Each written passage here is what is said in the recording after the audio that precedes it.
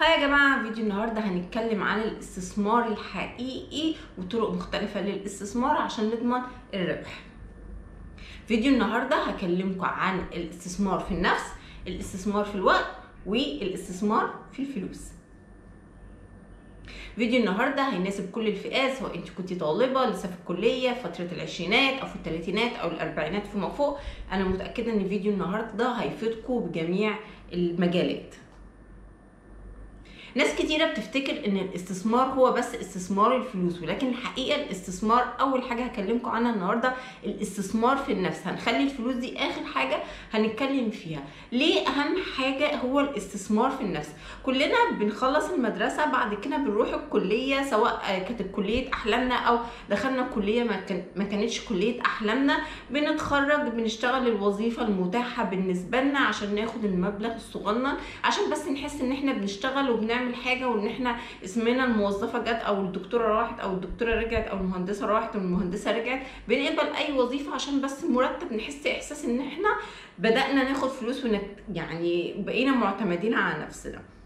وده في حد ذاته حلو بس الفكرة إن الاستثمار آه أنا جاي أكلمكم النهارده عن الاستثمار عشان تبدأوا من بدري لأن أنا عشان أكتشف الخطط والحاجات اللي أنا جاية أقولها لكم النهارده أخدت مني سنين كتيرة جدا عشان أقدر أعرف آه أنا عايزة إيه وأقدر أعرف إزاي أستثمر صح. وبالنسبة لي بصراحة الاستثمار في الفلوس كانت بالنسبة لي أسهل حاجة أصعب حاجة بالنسبة لي كانت الاستثمار في النفس. فأنا هتكلم أول بوينت دلوقتي هتكلم عن الاستثمار في النفس. بعد ما تتخرجي من الكلية هيقابلك هت... هتفضلي تدوري على وظيفة. حاولي على قدر الإمكان على قد ما تقدري تختاري وظيفة في مجال انت بتحبيه. حتى لو انت مش نفس الكلية اللي انت خارجة منها مش نفس المجال اللي انت متخرجة منه شوفي إيه هو الشغف بتاعك بتحبي إيه أكتر حاجة واشتغلي في المجال ده. لأن أهم حاجة بالنسبة لي دلوقتي هو اكتساب الخبرة قبل الفلوس. الفلوس هتاخدي كل مرتب كل شهر المرتب ده بدل ما تروحي تضيعيه في الشيبسي والبيبسي والشوكولاتات والجزمة والشنطة عشان تطقميها مع الطقم اللي بابا وماما دفعوا لك فلوسه عشان تشتريه عشان فلوس المرتب الوظيفة اللي انت شغاله مشتغلاها دلوقتي مش مكفي فالفلوس الصغننة دي هنتكلم عنها هندخرها عشان نعمل project هنتكلم عنه في آخر الحلقة. بس دلوقتي أنا جاية أتكلم أهم point إن انت تستثمري في نفسك. إزاي أستثمر في نفسي؟ أول وظيفة هتتقابلي فيها أو هتحبي تشتغليها أتمنى إن هي تكون وظيفة أحلامك حاجة انت بتكوني فعلا بتحبيها وعندك passion بيها لأن هتكتسبي خبرة كبيرة جدا في المجال ده.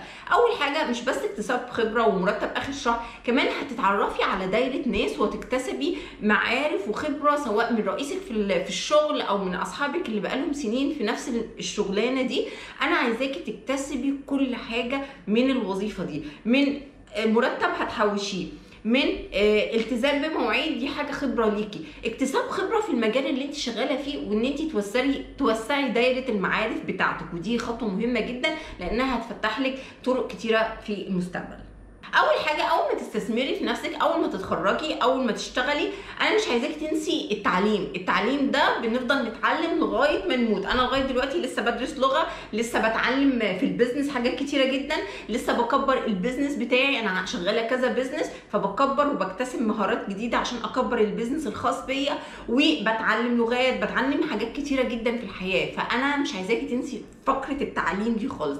بس أنا عايزاكي تبقي specific محددة تتعلمي إيه. فتتعلمي الحاجة اللي انت حاطة في دماغك ان انت هتكملي فيها وتشتغلي فيها مدى حياتك. بالإضافة ان في مهارات تانية كتير جدا مش هتلاقيها تبع الحاجة اللي انت نفسك تشتغلي فيها زي الويندوز والاكسل والويندو Office والحاجات دي مهارات تكتسبيها على الكمبيوتر. اتعلمي لغة واتقنيها اللغة الإنجليزية مهمة جدا. أنا عندي أصحاب كتيرة جدا متخرجين من كليات مثلا صيدلة وبتشتغل مترجمة إنجليزي أو بتدرس انجلش أونلاين.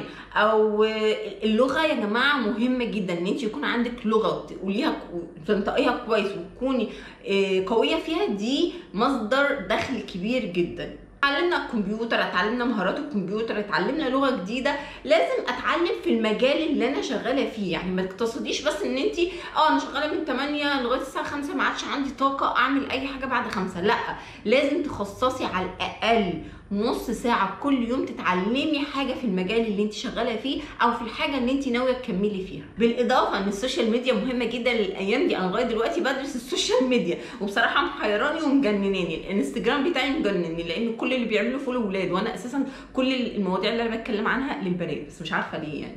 ما علينا. المهم لازم تكبري من مهاراتك. طيب لو انت معكيش فلوس إن انت تروحي تحضري كورس أو إن انت تتعلمي كورس. أنا بالنسبة لي أنا أول ما اتخرجت كنت بروح أحضر آه، كورسات تبع النقابة. النقابة بتاعتي كانت بت- بتقدم كورسات كل أسبوع ببلاش أو بأسعار حاجة يعني عبيطة جدا جدا. فالفلوس اللي انت بتاخديها من المرتب اللي انت بتاخديها من الوظيفة اللي انت شغالاها أو تستلفي حاجة صغيرة من بابا وماما تتعلمي مهارة جديدة أو كورس جديد يفتح لك دماغك يكبر لك دماغك. زي ما قلنا وجودك وسط الناس في دايرة شغل ده بتفق بتكبر معارفك ومداركك. بت... بتكتسبي خبرات وبتتعلمي من ده ومن ده وبتسمعي من كل حد وتكتسبي وفي الآخر بتفلتري. انت عايزة تكملي في أي مجال. لأن كلنا للاسف معظم الناس بتخش كليات أساسا يعني معتمدة على المجموع. انت بتبقيش عارفة انت عايزة إيه.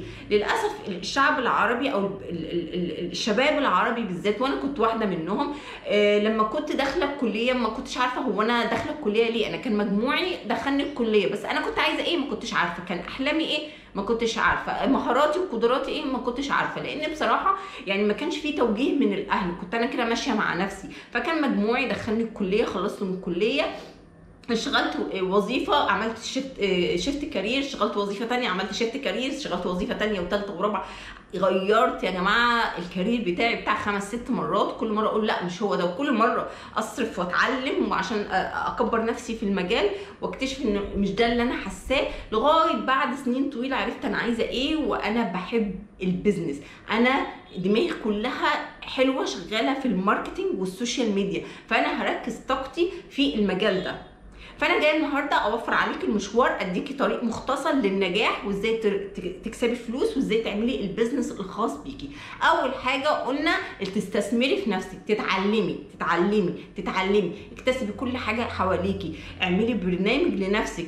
كل أسبوع لازم تتعلمي حاجة جديدة مهارة جديدة حتى لو صغيرة. كل يوم اعملي نص ساعة تتدربي أو تتعلمي حاجة صغيرة من على الإنترنت. تتعلمي حاجة في المجال بتاعك سواء لغة سواء حاجة على الكمبيوتر سواء على ال social media سواء في ال business سواء في المجال بتاعك whatever هو إيه لازم تتعلمي كل يوم حاجة. عندك على اليوتيوب courseات كتيرة جدا تقدري تتعلمي في كل حاجة نفسك فيها. عندك Udemy أو آه، في آه، يعني websites كده متخصصة في التعليم اونلاين أنا كان عندي واحد زميلي يا جماعة كان آه، يعني هو عايش في القاهرة بس ما بين شغله وبيته تقريبا ساعتين في المواصلات. فبيقول لي أنا خلصت courseات Udemy على في الطريق ده يعني خلصت مناهج في الساعتين دول. وانت في المواصلات وانت في الطريق رايحة الشغل وراجعة من الشغل اكتسبي الوقت ده حطي كده سماعات ال headphone بدل ما تسمعي أغاني. حلو إن انت تسمعي أغاني بس خليها مش دلوقتي إحنا دلوقتي متخرجين إحنا في الثلاثينات فاتنا شوية في الأربعينات اتأخرنا شوية عايزين نعمل إيه؟ الشغل الخاص بتاعنا. فنتعلم حاجة أونلاين. افتحي اليوتيوب اشتركي في course online. اتعلمي حاجة شوفي انت بتحبي إيه وقوي نفسك فيه. لو انت عايزة تعملي business خاص بيكي طبعا هتخشي على مجال يعني ال- ال- ال business أو ال marketing ده مهم جدا. لو حاجة في مجالك شوفي انت شغالة إيه أو متخرجة من إيه وعايزة تقوي نفسك لازم كل يوم تقري في المجال بتاعك. أنا من الأشخاص اللي اتعلمت course كامل عن المتجر الإلكتروني. إزاي يكون عندي website وأبيع عليه حاجات كتير. ال course ده يعني ببلاش اخد مني وقت كتير يعني أنا استثمرت في وقتي بس اتعلمت كل حاجة عن التجارة الإلكترونية وفادتني كتير جدا ووسعت مداركي. أنا جاي النهارده أكلمكم عن الاستثمار. الاستثمار ده يعني إيه استثمار؟ استثمار تخيلي أنت كده رحتي جبتي بذرة دفعتي فيها في البذرة دي شوية فلوس فأنت بتستثمري في فلوسك. البذرة دي رأس رأس المال بتاعك أو ال- ال- البيزنس بتاعك. كل يوم هتحتاجي تشربي البذرة دي وتعتني بيها وتظبطي التربة حواليها وتظبطي المناخ. ده المجهود اللي انت بتبذليه على ال business بتاعك. هتستني شوية حلوين كده شهرين ثلاثة أربعة خمسة لغاية ما البذرة دي تبقى شجرة والشجرة تطلع لك. سمر والسمر ده أو الفاكهة تقدري تبيعيها. فانت لازم تكوني صبورة لازم تحطي مجهود تحطي رأس مال صغنن في أي حاجة لازم تبتديها لو انت عايزة تعملي business خاص بيكي. البذرة دي هي رأس المال بتاعك. المجهود الكبير اللي انت بتبذليه كل يوم آه، بتشربي البذنه أو مش شرط يكون مجهود كبير حتى لو صغير بس يكون باستمرار. ده أهم حاجة. كل يوم تدي للبذره دي شوية وقت تعتني بيها وتشربيها لغاية ما تبقى شر... بتبقى قوية ضد الرياح وال- والعوامل الجوية. وبعد كده تطلع لك الفواكه. الفواكه دي تقدري تبيعيها دي الفلوس اللي هتجيلك من تعبك والاستثمار والوقت اللي انت بذلتيه في المشروع ده. plus إن انت لازم برضو خطة كده يا جماعة حاجة كده اتعلموها مني. لازم يكون عندك أهداف قصيرة المدى وأهداف طويلة المدى.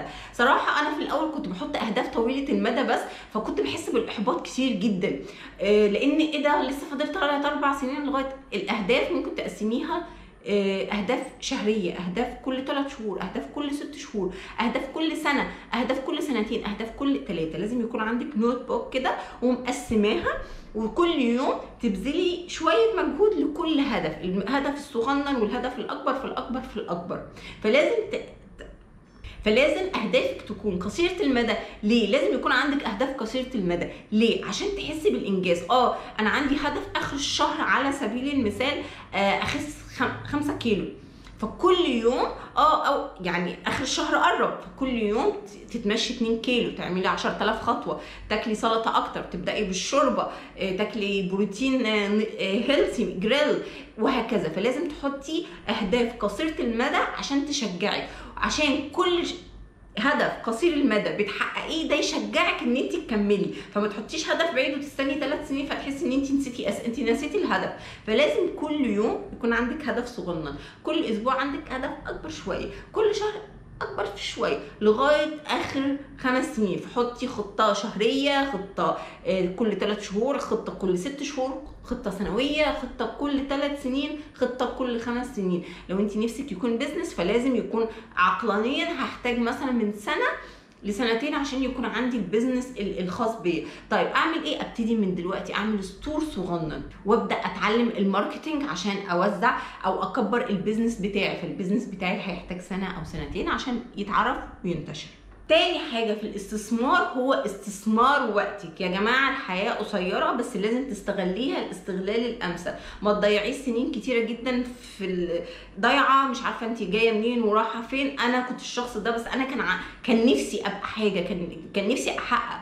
بس أنا ظروفي كانت صعبة وكانت يعني كنت ضايعة. ما كنتش عارفة أنا عايزة أروح فين وأبتدي منين. ابتديت حياتي صح لما ابتديت استقليت بنفسي كنت عملت لكم فيديو عن الاستقلال بالنفس في ظل مجتمع شرقي اتفرجوا عليه هحط لكم ال link في ال description box وهتلاقوه في ال playlist بتاع الدردشه أول ما استقليت بنفسي حطيت لنفسي خطة صحيان بدري كل يوم ألعب ساعة يوجا آه، أروح أتمشى آه، أروح أجيب مكونات الفطار بتاعتي. أطبخ لنفسي. وبعد كده إيه هو أنا مش بتكلم على lifestyle أنا بتكلم على خطة. الخطة دي روتين تبقي ماشية عليه بشكل صحي يوصلك للهدف بتاعك. لازم يكون عندك notebook تكتبي كل حاجة بالتواريخ. أنا لغاية دلوقتي عندي notebook بكتب كل حاجة بعملها في اليوم عشان يبقى عندي motivation زي ما قلنا في أهداف صغننة وأهداف كبيرة أو أهداف قصيرة المدى.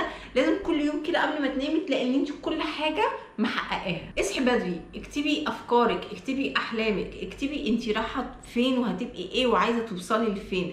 اعملي meditation حاولي ان انت تعملي manifestation تجذبي الطاقات الإيجابية ليكي. ابعدي عن الناس السلبية.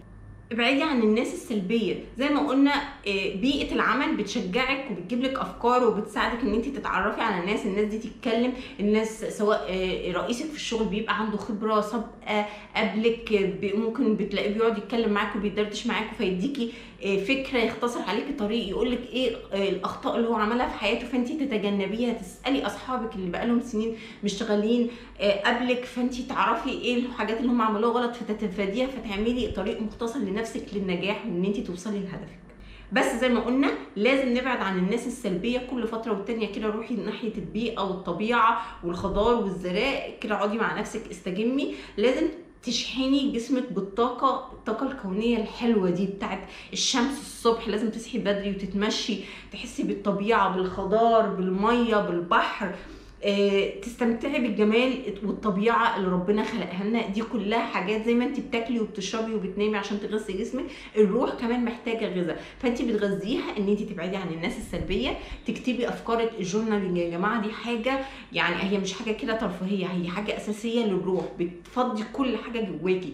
تكتبي كل حاجة على الورقة لأن لما بتشوفي أحلامك اللي انت نفسك تحققيها مكتوبة على الورقة بتحسي ان انت قادرة تحققيها. وسبحان الله العقل لما بيشوف يعني بيتخيل حاجة بيدي ال order آه، بي امشي اتحرك ناحية الهدف ده لأن هو خلاص هو خد ال order بس انت مش واخدة بالك إن انت اديتي لمخك ال order لازم وقت كده تخصصيه لنفسك اسمه me time me time ده أقعد كده أكلم نفسي أقعد أشوف أنا عايزه أعمل إيه أشوف إيه اللي أنا عملته غلط أتفاداه إيه الحاجات اللي المفروض آه، يعني آه، أبعد عنها إيه الحاجات اللي المفروض أتعلمها وأكتسبها؟ لازم في فترة كده تبقى offline airplane mode تبعدي عن التليفون تبعدي عن ال social media تبعدي عن عن التلفزيون تبعدي حتى عن الناس وتقعدي مع نفسك كده تقعدي تقولي أحلامي 1 2 3 أنا نفسي أحققها وهحققها وهحققها في الفترة الفلانية أنا قادرة أعمل كل حاجة وقادرة أكون ناجحة وقادرة أحقق نفسي وأستاهل النجاح. استثمري في شبابك استثمري في صحتك. دايما يا جماعة بنصحكم بالرياضة. الرياضة بس مش عشان تخسي وتبقي فات و... وتعيشي مدة أطول. الرياضة بتحسن القدرة العقلية. أنا بصراحة بعد ما لعبت رياضة أنا بدأت الرياضة من بعد سن 28 كنت عملت لكم فيديو إزاي خسيت 20 كيلو. هحط لكم برده ال link في ال description box وهتلاقوه برده على playlist دردشة بنات. السلسلة كلها هتفيدكم. الرياضة مش بس خلتني أخس 20 كيلو غيرت لي تفكيري خلتني إنسانة قوية عندي ثقة بالنفس مليون المية. إيه الذكاء وصل للسقف أحلامي وصلت للسما. فالرياضة مش بس حاجة كده جسدية لأ ده عقلانية. بتديكي كده power بتصحي لما تصحي الصبح تلعبي رياضة وبتحسي كده إن آه أنا قد اليوم ده أنا هعمل إنجازات كتيرة في اليوم ده. الرياضة بنصحكم بيها. ولو مش حابة تروحي الجيم معكيش فلوس تدفعي اشتراك جيم العبي يوجا في البيت. اليوجا أكتر حاجة ظبطت لي جسمي مع إن أنا بقالي سنين بروح كل يوم جيم بفرض نفسي بالجيم. أكتر حاجة ظبطت لي جسمي اليوجا. ودلوقتي أنا بدي كورسات اونلاين يوجا بعلم بدي session يوجا اونلاين لو أنتوا حابين تحجزوا معايا هتلاقوا أنا سايبه ال link على الإنستجرام بتاعي ممكن تحجزوا معايا session ونقعد نتكلم وندردش مع بعض. لازم يكون عندك علاقات حلوة استثمري في العلاقات. زي ما قلنا الوظيفة اللي بناخدها أول ما بنتخرج دي مش بس عشان المرتب وعشان بس اسمي راحة واسمي جاية وأحس إن أنا مهمة لأ قلنا إن هي تديني شوية فلوس بكتسب خبرة plus إن أنا بتعرف على ناس الناس دي بيعرفوني خبرتهم السابقة فبتعلم. plus الناس دي بتعرفني على ناس تانية وهكذا. فبتلاقي إن الدنيا بتتفتح معاكي وإن الناس دي بتوفر عليكي سنين كتيرة جدا لأن هم بيدوكوا من خبرتهم. وأنا دلوقتي بعمل call 1 to 1 بقعد أتكلم وأتدردش مع البنات بديلهم خبرتي بديلهم lifestyle الصح التمام اللي زي اللي بيه يقدروا يحققوا أحلامهم ويوصلوا لقمة الجبل عشان قلنا قمة الجبل فيها الناس الناجحة فيها الأكسجين ال pure فيها تحقيق الذات فيها الإحساس بالنجاح فيها الإحساس بالسعادة وأهم حاجة في فلوس كتير. اقري جيبي كتب كتير جدا. لو انت حابة ال business وحابة آه، يكون عندك business وفلوس وتكسبي فلوس اقري في كتب ال marketing وأنا ارشح لك كتاب اسمه Rich Dad Poor Dad و Think and Grow Rich دول أحلى كتابين أنا قريتهم في حياتي يا جماعة وأتمنى إن أنتوا تقروها. هيغير لكم ال mentality وهيجيب لكم وهي يعني هيساعدكم على أفكار كتيرة جدا وهيحسسكم بالطاقة الإيجابية إن أنتوا تقدروا تحققوا كل أحلامكم. ثالث جزء هنتكلم فيه وهو الاستثمار في الفلوس وأنا عارفة إن أنتم مستنيين النقطة دي إزاي أستثمر فلوسي. اتكلمنا وإدينا مثال البذرة اللي بشتريها بفلوس صغيرة الفلوس دي اللي أنا اكتسبتها من الشغلانه اللي أنا اشتغلتها بمرتب بسيط الفلوس دي اللي أنا باخدها من الشغلانة البسيطة. بحوش بحوش بحوش. طيب بحوش إزاي؟ بدخر إزاي؟ أول حاجة عشان أستثمر في الفلوس لازم أدخر. الادخار ده بيبتدي حتى يا ستي لو انت لسه طالبة في الكلية بابا بيديكي المصروف المصروف اللي بابا بيديهولك اصرفي جزء وحوشي حوشي. يا جماعة أنا بنصحكم يا بنات لازم تحوشوا. والله قرش على قرش. يعني فاكرين آه، مسلسل لن أعيش في جلباب أبي؟ كان معهوش أي حاجة. كان بيحط القرش على القرش لغاية ما بقى businessman كبير جدا. أنا عايزاكم تعملوا كده. كنت عملت لكم حلقة عن lifestyle ال minimalism وإزاي ال lifestyle ده ساعدني ووفر لي فلوس يعني كتيرة جدا وعيشني حياة صحية وحسسني بالراحة وبالخفة وبالسعادة وبالبساطة. ولغاية دلوقتي متبعه ال lifestyle ده ما عنديش هوس إن أنا أروح أشتري براندات وأروح أضيع فلوسي في اللبس. خليكي عاقلة وذكية النجاح هو أحلى brand ليكي. ادخر فلوسي. قلنا هنحوش ادخرنا حوشنا بطلنا shopping بطلنا فرجة على التلفزيون والإنترنت عشان الحاجات دي هي اللي بتغوينا إن إحنا نشتري. بطلنا أحلامنا في البراندات. وكنت عملت حلقة إزاي تجيبي براندات بأسعار بسيطة. هحط لكم ال link في ال description box وهحط لكم برده link lifestyle حياة ال minimalism في ال description box. وهتلاقي كل ال ال ال ال الفيديوهات دي موجودة على playlist دردشة بنات. إزاي أستثمر في فلوسي أول حاجة إن انت من أول ما قلنا تبتدي يكون معاكي فلوس حتى لو انت لسه طالبة بتحوشي تحوشي تحوشي تقرطي على كل قرش. تاني حاجة تقدري تشتغلي بموهبتك. يعني أي إنسان في الحياة عنده ثلاث حاجات أوكي؟ أو انت لما بتتخرجي من الكلية بيبقى عندك الشهادة. ممكن تقدري تشتغلي بالشهادة بتاعتك. أول ما بتتخرجي من الكلية بتشتغلي وظيفة بسيطة على قد إيه؟ إن انت لسه آه متخرجة جديد. في الوقت ده برضو يا جماعة يعني الشغلانة إن هي من 8 ل 5 أو لغاية 4 بعد كده تقدري تشتغلي على مواهبك. لو انت عندك أي هواية كروشيه تعملي منتجات وتبيعيها. لو انت بتعرفي تشتغلي بالفخار والسيراميك والحاجات دي كلها تعملي مجات وتبيعيها اونلاين لو انت بتعرفي تعملي توك اعمليها وبيعي اونلاين لو انت أي مهارة بتعرفي تعمليها شموع. اعملي شموع وبيعيها. اشتغلي بموهبتك. اقعدي كده مع نفسك. قولي إيه الحاجات اللي أنا بعرف أعملها handmade واقدر ابيعها اونلاين. أو اشتغلي بحرفتك. لو انت عندك حرفة بتقدري تصلحي حاجة ممكن يعني مثلا بره في الدول الأجنبية ممكن تخبطي على جارتك تقولي لها أنا هنضف لك الجنينة أو اللي هو هجز الأعشاب اللي قصاد البيت وتاخدي فلوس. اعملي دوك سيتنج اللي انت لو حد من قرايبك أو من معارفك أو الناس اللي حواليك عندهم حيوانات أليفة ساعات بيحبوا يسافروا. خدي الحيوان أو القطة بتاعتهم أو الكلب بتاعتهم استضيفيه أو خلي هم ممكن يقعدوك في البيت بتاعهم وتاخدي مقابلها فلوس. اشتغلي بكل حرفة بكل مهارة تقدري تعمليها. أنا مثلا أنا كنت اتكلمت عن الاستقلال وإن أول مرة لما سافرت رحت قعدت في بلد اسمها دهب دي موجودة في شرم الشيخ.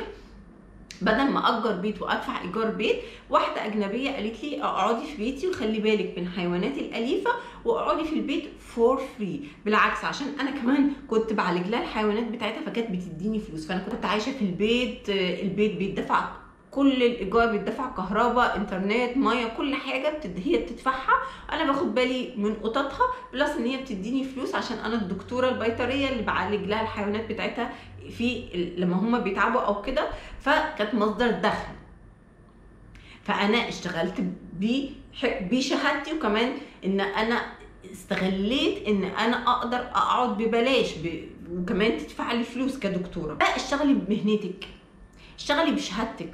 اشتغلي بموهبتك أو بالحرفة اللي انت بتقدري تعمليها سواء أي حرفة انت بتعرفي تصلحي حاجة بتعرفي يعني الحرفة دي شوية بتبقى رجالي أي حاجة يعني سباكة نجارة ممكن لو بتعرفي تعملي حاجات خشب صغننة وتبيعيها اونلاين أي حاجة. فاشتغلي وقت ما انت بتشتغلي بالشهادة بتاعتك اشتغلي بالموهبة بتاعتك اشتغلي بالحرفة بتاعتك. اعملي منتجات صغيرة وبيعيها أونلاين. الناس بتحب الشغل ال handmade. وال handmade يعني هو للأسف بره يعني ليه شنة ورنة بأسعار خيالية. بتلاقي بتبقى عاملة خواتم وإكسسوارات وتتباع بدولارات كتيرة جدا. إحنا عندنا شوية كشعب عربي مش بنقدر شوية ال handmade. يعني دايما بنروح اتجاه الأكل والشرب يعني بنحط فلوس في الحاجات دي. بس زي ما قلنا الادخار بنحط قرش على قرش عشان نكبر وهنكبر. مش ولا حرفة ما عنديش ولا موهبة ما عنديش أي حاجة أنا مش عارفة مواهبي مش عارفة حرفتي. يا ستي روحي بتحب ال shopping. أنا عارفاكي اللي بتحب ال shopping. روحي دوري على الحاجات اللي عليها أوفرات. ما تقوليش لحد. روحي كده المحلات واشتري الحاجات اللي تحسيها مميزة وحلوة وجذابة ومش موجودة كتير. اشتريها وقت ال offer جمعيها وبيعيها أونلاين بالسعر اللي تحبيه. يبقى كده مصدر دخل ليكي. مش هتحتاجي مجهود كبير هتحتاجي بس تنزلي مرة في الأسبوع. مرة كل أسبوع تشتري شوية منتجات انت حاسة إن هي آه، البنات بتحبها. حاساها ترند جيبيها اشتريها حطيها في ال store بتاعك واعملي صفحة على الفيسبوك وبيعيها أونلاين. واعملي بقى marketing لل business الصغنن بتاعك ده قولي لأصحابك ولقرايبك ولبنت خالتك وجيرانك وأصحابك اللي في الشغل يعرفوا أصحابهم التانيين وأهلهم ويبدأوا يشتروا منك. حاجة حلوة برضو انت لو انت أيام الكلية شاطرة في مادة معينة ممكن تقدري تدي كورسات في المادة دي. أنا مثلا لما اتخرجت من الكلية عملت أخدت ماجستير في ال biochemistry ولما اتخرجت قلت لكم كنت بشتغل شغلانة واسيب واغير ال career واشتغل شغلانة واسيب واغير ال career عشان ما كنتش عارفة أنا عايزة إيه كنت ضايعة. ف... ف يعني مش ضايعة بمعنى الكلمة بس ما كنتش عارفة أوصل للحاجة اللي أنا إيه wow هي دي اللي أنا عايزاها. كان بيتي جنب جامعة خاصة. بدون ذكر أسماء الجامعة هي إيه. الجامعة دي كانت جامعة للكليات العلمية كلية صيدلة وأسنان علوم طبية وعلاج طبيعي. ومادة ال biochemistry موجودة في الأربع كليات دول فكنت بديهم كورسات biochemistry لطلبة الجامعة ودي كانت من أكتر الحاجات اللي جابت لي فلوس كتيرة جدا وحوشت كنت حاسة إن أنا إيه أنا wow كده أنا قد حالي لأن أنا كنت عاملة ماجستير في الكيمياء الحيوي وبدأت أدرس الطلبة والمادة دي مادة صعبة لطلاب الجامعة بشكل بشع هي في الغالب بتبقى في السنة الثانية للكلية يعني سواء هي علوم طبية ولا صيدلة ولا أسنان ولا آه، صيدلة وأسنان وعلاج طبيعي وعلوم طبية فهي في الغالب بتبقى في تاني سنة وبتبقى مادة تقيلة قوي جدا على الطلبة. أنا كنت سبحان الله بحب مادة ال biochemistry وكنت شاطرة فيها جدا وكان دايما تقديرات حتى من وأنا صغيرة يعني في في, في ال science كنت أنا شاطرة في الكيمياء كنت أنا شاطرة في الكلية كنت أنا شاطرة. واتخرجت وعملت منها اخدت أخدت ماجستير في الكيمياء الحيوي فبدأت أدرس طلاب الجامعة كيمياء حيوي وكانت من أكتر الحاجات اللي دخلت لي فلوس كتير جدا. فأنت زي ما قلنا وظيفتك شهادتك موهبتك حرفتك تقدري تعلمي أي حاجة أنت بتعرفي تعمليها كويس. إن شاء الله شغل handmade. ممكن تدي كورسات أونلاين آه، للكروشيه أو للإكسسوارات أو إزاي تعملي الحاجة الفلانية. شوفي دوري كده اقعدي مع نفسك جيبي ورقة وقلم اكتبي أنا شاطرة في إيه. الحاجات اللي انت شاطرة فيها دي تقدري تشتغليها وتبيعيها للناس بفلوس.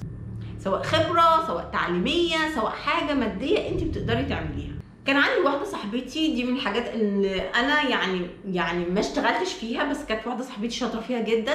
كانت بتروح تشتري أي فلوس معاها زيادة كانت بتروح تشتري ذهب وتخزنه وكل ما يكون معاها فلوس تشتري ذهب وتخزنه لأن الذهب آه، يعني يعتبر من الحاجات اللي هي زي العقارات زي ال... زي كأنك بتشتري بيت أسعاره أسعاره بتزيد مع الزمن. فلو معاكي extra فلوس دايما حطيها في الذهب وخزنيها.